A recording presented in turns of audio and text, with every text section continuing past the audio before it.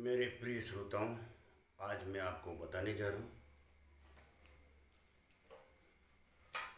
रावण की अंतिम इच्छा क्या थी? जाने, इसके बारे में बताऊँगा। बड़े ध्यान से सुनना।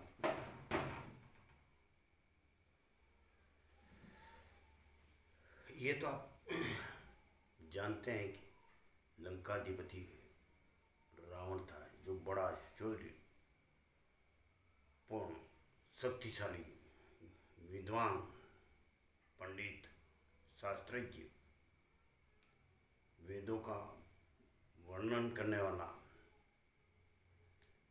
और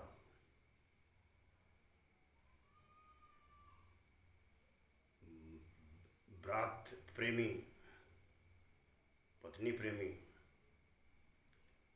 और कितने नमन उसमें गुण थे आज उसके बारे में बताऊँगा।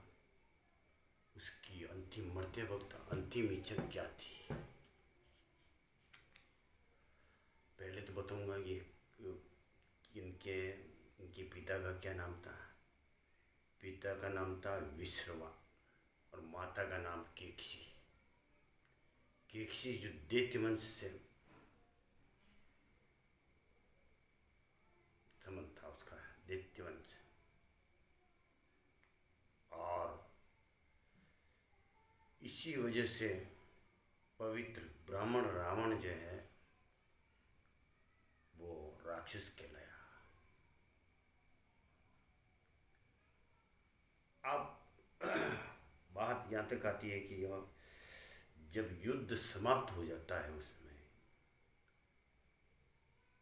राम ने कहा कि जाओ, लक्ष्मण, कोई राजनीति सीख करके आओ।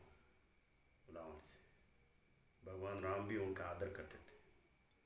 क्योंकि विद्वान पुरुष था। शास्त्र, शास्त्रज्ञ और विद्वान वैज्ञानिक था। तो अंत में लक्ष्मण जाते हैं और वहाँ जहाँ रावण मूर्छित पड़ा था, वहाँ पर गए चारों तरफ़ देखो तो लाशें पड़ी हुई थी और अधमरे वो कहरा रहे थे वो, हाय हाय कर रहे थे उस विहंगम दृश्य में। देखते ही मन पसीज जाता है।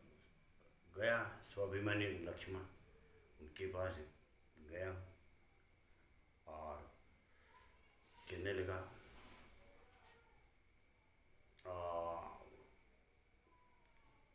स्वाभिमानी लक्ष्मण उनके निकट पहुँचा और उन्हें प्रणाम किया पहले तो।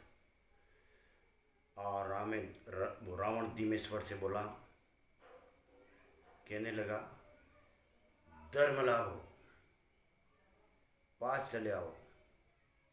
लक्ष्मण पास जाते हैं वहाँ उनके पास और बैठकर राम की इच्छा को उन्होंने बताया।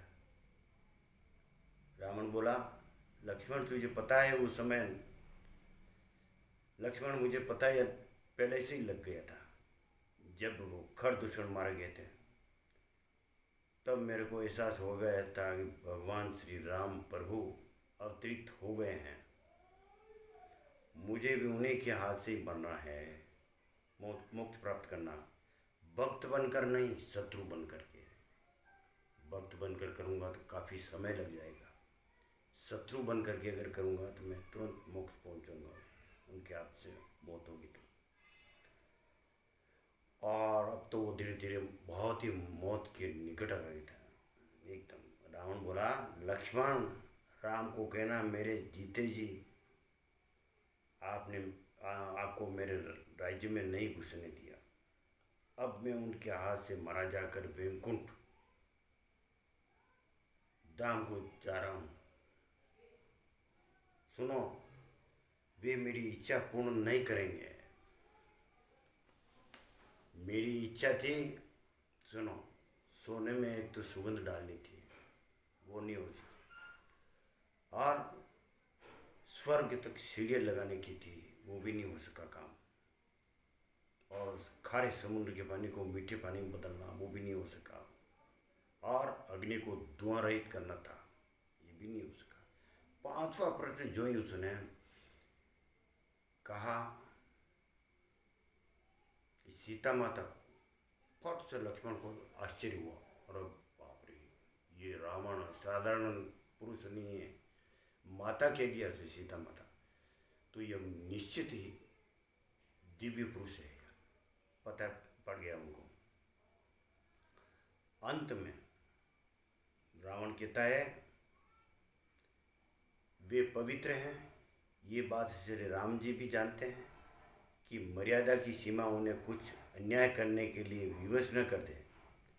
यही मेरा, मेरी अंतिम इच्छा थी। और इतना कह करके धनाम से मौत ग्रहण कर ली उन्होंने। तो ये थी रावण की अंतिम